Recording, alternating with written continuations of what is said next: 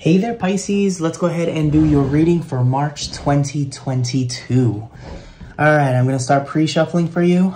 In the description below, uh, I have a few readings that you may want to look at.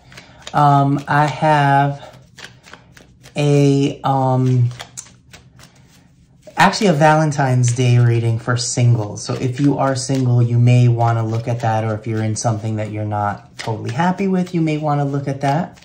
Okay. I have a mid-monthly for February.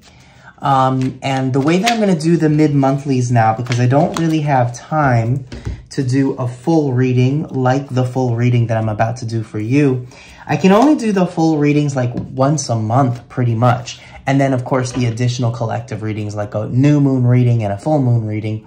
Um, so the mid-monthlies are going to be about an hour long to an hour and a half. It's going to have all 12 individual signs and each reading is going to get, I'm sorry, each, yeah, reading, each sign is going to get a check-in. It's going to be about five to eight minutes, maybe 10 minutes at the most. Okay. Um, so I have the mid-monthly for February in the description below if you didn't see it. I do have the new, um, sorry, the full moon in Leo. It's a two-parter. The um, second part focuses on love, whether you're single or dealing with somebody, but it's mostly for people who are dealing with someone. And then I have the two, well, I'm not even going to mention all the twos. Let's just say February 2nd, 2022 um, portal reading with all those twos in there. I'm not even going to try to count all the twos right now, but you get the idea. The two, two, two, two, two, two, two, two, two, two, whatever portal reading is often associated with um, twin flames or soulmates. So that reading has that focus, okay? All right. King of Pentacles. Want it to make itself known. All right, so I have all those readings in the description below. I'm beginning the main part of the shuffle for you, Pisces.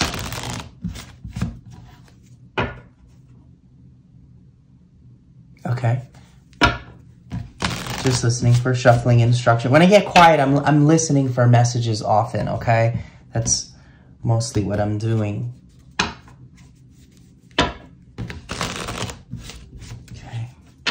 We're going to do a pyramid spread. Very different from the uh, Celtic cross.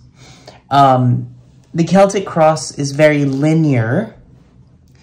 The pyramid spread is... Um, it focuses more on you, more, you know, it tends to have little messages, little bits and pieces of messages that way.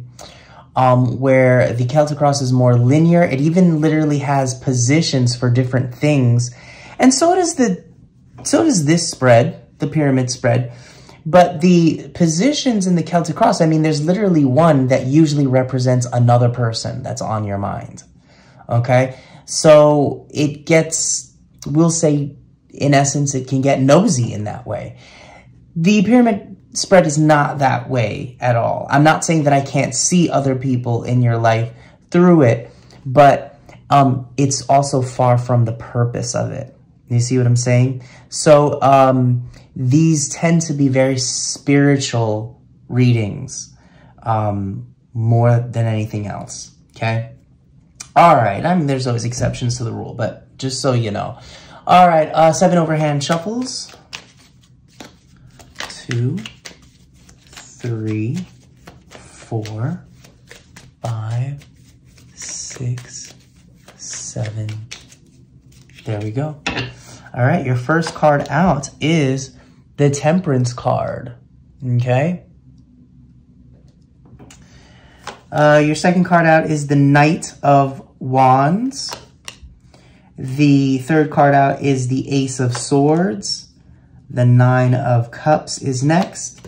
And the Eight of Pentacles. A lot of this energy here is representing your past, but it's not so much about what happened in your past as much as it is about how your past influences the current time, okay? The next row is the current time. So let's take a look at that. We have the moon Okay? The next card within this current time usually represents possibly the solution or what you're trying to reach.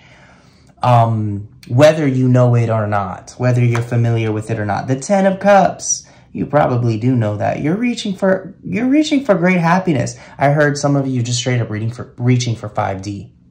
Okay? And the Ten of Pentacles, wow, back to back, the Ten of Cups and the Ten of Pentacles, all right? Well, some of you could either be quite wealthy or desire to be wealthy and extremely stable, extremely financially stable, as well as all the other stables, spiritually stable, things like that. Very, very family oriented here. Very much so. You've got a lot of good energies here. So for me, the moon card is not really talking about fears, but more about you being very cognizant about your own intuition, your own psychic abilities. In some cases, some of you guys could be doing readings like this, you know, whether in any capacity, whether it's reading cards or palm or just someone's aura. Okay, it's funny because the last time I did mushrooms, I've only done it twice in my life. I actually was able to see people's auras. I didn't get that the first time. Um, but anyway, you know, who knows? You know, I don't read anything else but cards. I do have an intuition where sometimes I kind of don't need cards and I can just read people. Um, but the cards are definitely more uh, a helpful tool with all of that. Uh, but yeah, though, seeing the aura thing was a new thing for me. Um, and these are some of the abilities that you guys have. Um, reading coffee grinds in some cases for some of you. Uh, I can't do that. Reading tea leaves, read, you know, whatever, stones. I think if I was going to go in another direction to learn something new, I think stones would be the next easiest thing for me to learn to read. Just saying. Anyway, I think that would work with my intuition quite well. Um, let's take a look at the two um, paths that are most available to you uh, one is usually easier than the other. Um, they're uh, often most your likely paths, but the one on the right will be the one path that you're likely to take. It's not set in stone, but you're likely to take it. Uh, you still could take the other one, whether it's by free will or even by default, and somehow you fall on that path.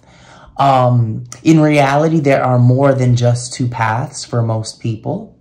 Okay, you could have 10 paths, but these are the two that are most prominent or more relevant at this time.